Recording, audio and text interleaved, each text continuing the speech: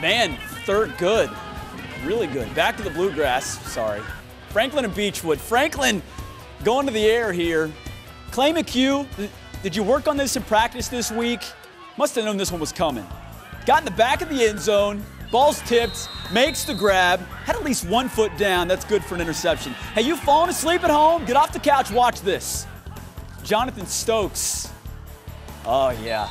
Bounces off. Touchdown, Beechwood. Tigers cruise 42 13.